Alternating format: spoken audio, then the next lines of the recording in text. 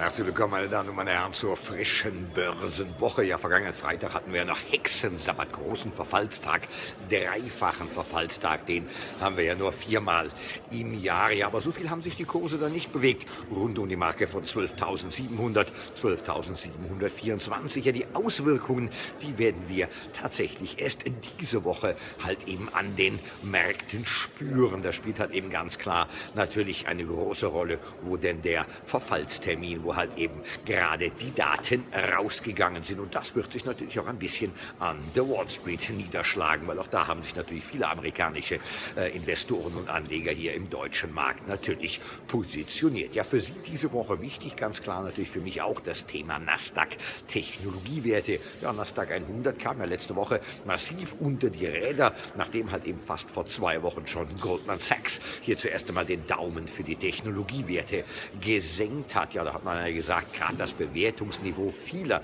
der großen Technologiewerte, ob es eine Amazon ist, eine Facebook, eine Netflix zum Beispiel, auch eine Google Alphabet, wäre dementsprechend dann doch zu hoch. Und daraufhin haben viele Anleger zuerst einmal Gewinne mitgenommen, waren vorsichtig, sind verhalten. Ja, und das hören wir halt eben auch von der US-Bank Merrill Lynch. Ja, da hören wir, dass viele Technologieaktien, naja, immerhin ein Dreiviertel der Fondsmanager sagen da, ja, die wären teuer oder halt eben, es könnte sich durchaus eine Blase bilden. Das heißt, Technologiewerte könnten nach wie vor auch diese Woche ein wenig unter Druck geraten. Ja, worauf schauen wir sonst noch diese Woche? Natürlich ganz klar auf die Einkaufsmanager-Indizes. Ja, und nachdem wir jetzt ein bisschen Pause haben mit den Wahlen, ja, da werden wir natürlich zuerst einmal wieder ganz klar auch mal wieder auf Konjunkturdaten schauen. Da müssen wir mal halt eben abwarten, wie die dementsprechend ausfallen. Ja, und wenn wir dann weiterschauen, haben wir natürlich momentan schon das Thema, dass gerade der DAX, der deutsche Markt, ob DAX, MDAX, SDAX, TechDAX,